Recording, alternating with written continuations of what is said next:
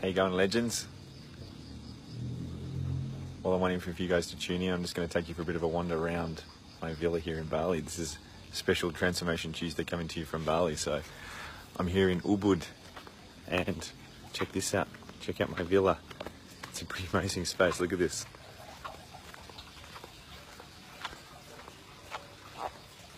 Beautiful evening here. A little bit balmy, a little bit wet, and I've got this beautiful place to call home for the next few days. So, hope you guys are doing well. Tonight, I'm going to be dropping into a couple of topics that are close to my heart that have been sort of resonating with me. So, I'm just going to be sharing some insights, things have been pouring through from spending some time here in Bali. Let me know if you guys can see me, hear me. Hey, Monica. Hey, Daddy.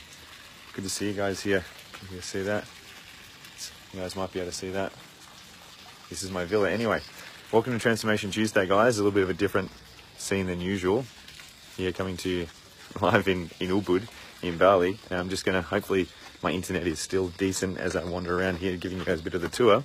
Hey, Angela, good to see you. And I just want to share some of the little insights that I've been noticing about the Balinese people, about their presence, their way of being, their attitude, their philosophy to life that I think we can learn a lot from. Uh, as well in the Western world, in Australia at least, anyway. Um, hey, Monica, good to see you here. Yeah, life's hard. well, it's funny. It's uh, you know, hey, Mike, good to see you. The thing about you know life is, you know, the guys here in Bali. You know, we were just I was just driving along on the scooter just before, and there was a guy, um, there was a man that was, uh, he was, hey, Deb, good to see you here.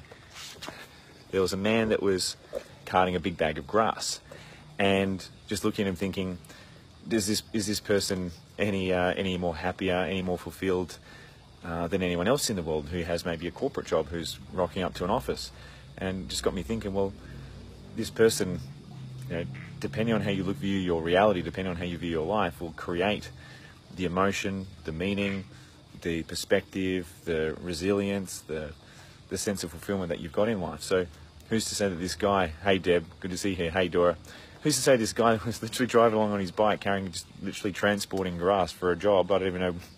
Maybe maybe he was transporting it for food or whatever. But it just got me thinking, like this person, their life isn't any more or less meaningful than anyone anyone else, and our life, our quality of our life is not determined by the stuff that we have, by the possessions that we own. It's ultimately determined by each and every moment our perspective that we are creating in the moment about what life means for us. So it, it really is an important concept, I think, for a lot of people to, to really relate to because there's plenty of people in life that have the money. There's plenty of people in life that have the stuff. They have the external success. They have, you know, there's plenty of my clients that I work with that have had all the money in the world, but are they necessarily fulfilled? No, not necessarily if we have all the money in the world, but if we don't have fulfilling relationships, if we don't have fulfillment, if our life doesn't have a sense of meaning and contribution and purpose, then it's a very, very empty existence. So these are the these are the types of concepts that I want to make sure everyone is really contemplating. Is you know we don't get long to live here in this life. Hey, cheers, Ross. Good to see you, buddy. We don't have long to live at all, and we've got to make the best use of our time, focusing on what what what gives us meaning, what what's what is fulfillment to us? Even just asking that question, what is fulfillment? Because for a lot of people, you know, they spend a lot of their life chasing, and I certainly did.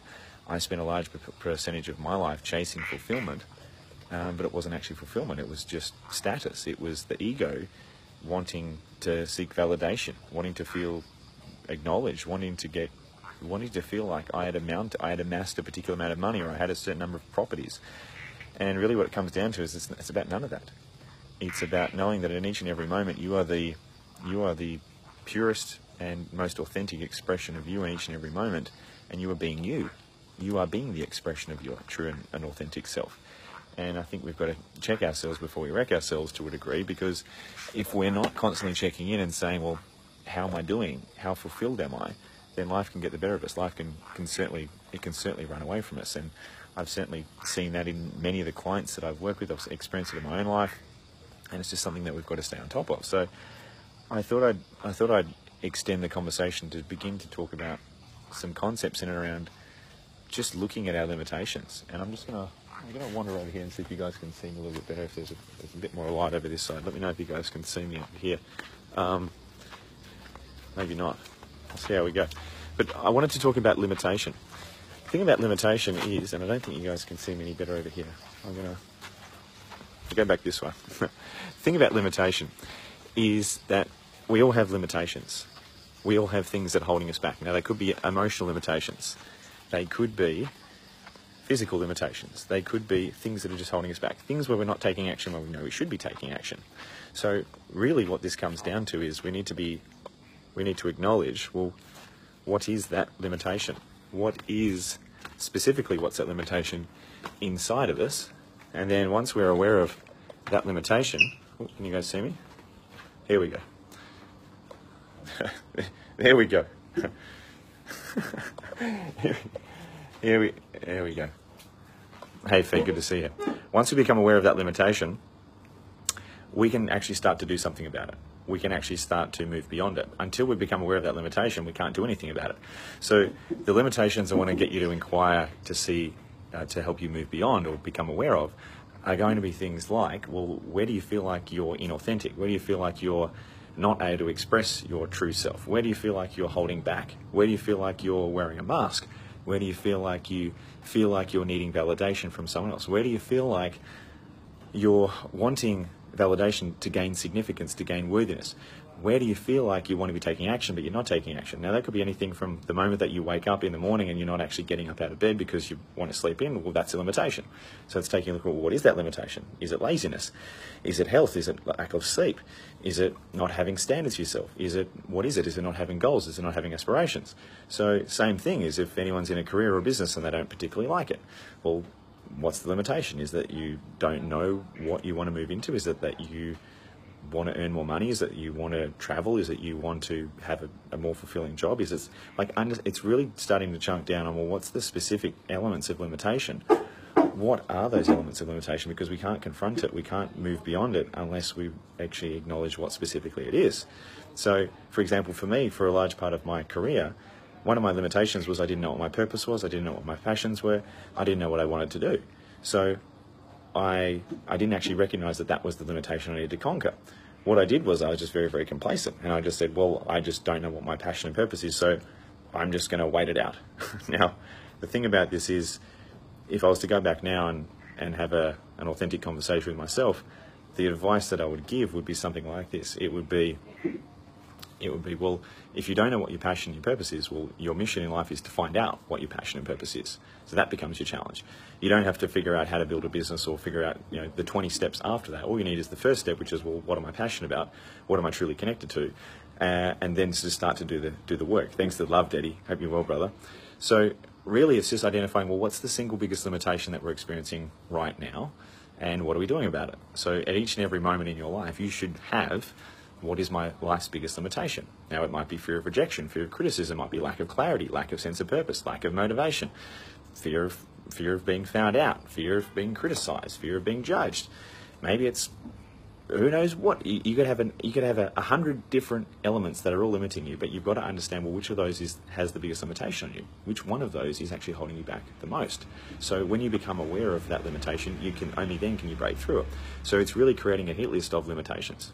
What are your limitations? Now, they might be beliefs, they might be emotional experiences, they might be relationships that you're in that you need to either restrict the amount of time that you're spending with that person or either eliminate or end the relationship completely.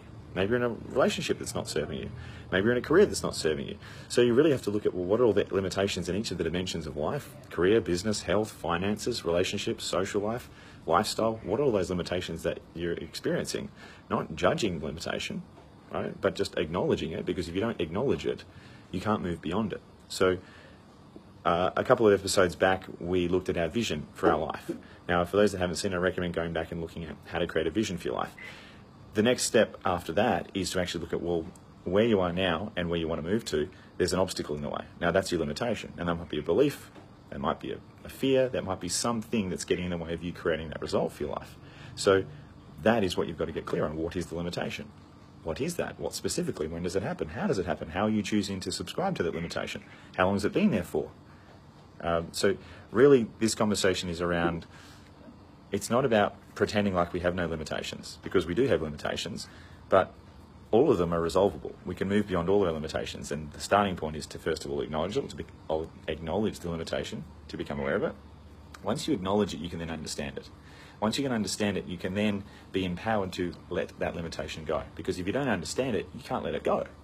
Because it's just it remains in the in the domain of the fuzzy, ambiguous, just some general limitation. So really, you've got to get specific on understanding. Well, what is that limitation? How does it play out? Like for example, uh, let's let's go back to my, one of my favourite examples, which is maybe taking the plunge and going in and starting your own business. Because I know there's a lot of things. That's a that's a hot topic that I know a lot of my clients are in the process of doing. Now, is the limitation? Well, what is it? Is it fear of failure? Is it fear of success? Is it not having the information? Is it maybe that's not maybe it's not that I haven't got enough information. Maybe it's that I don't have the courage or the boldness to actually take action and get started. Maybe, so again, you've got to ask: well, Is the limitation in skill, knowledge, or experience? Is it in belief systems? Is it in fear? What is that limitation and what dimension does it sit in? And then we've got to do that for each, each of the dimensions of our life. So I trust that resonates, guys. Really, it's not about pretending like we don't have limitations. In order to move beyond our limitations, we have to acknowledge them. We have to, first of all, acknowledge, become aware of, and then understand, and then take action to resolve and dissolve those limitations at the belief level, at the mindset level, at the behavior level, at the action level, and sometimes we've got to take drastic action to eliminate those limitations. Now, I can tell you right now, there is someone in the world right now whose number one specialization in their life, in their career, in their business, their problem solving skill is solving your life's biggest limitation right now. So that's a beautiful truth of reality. Isn't it great that we live in the light, we live in a reality where your biggest problem right now is already been handled by someone and even more than that, that's their niche, that's their specialization.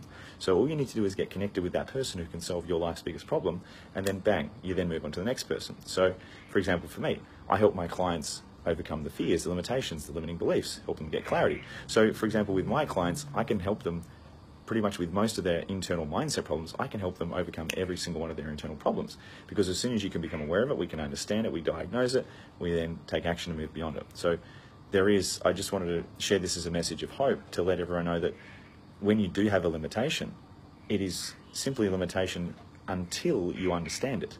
Once you understand it and take action on it and get assistance with it, it's no longer a limitation.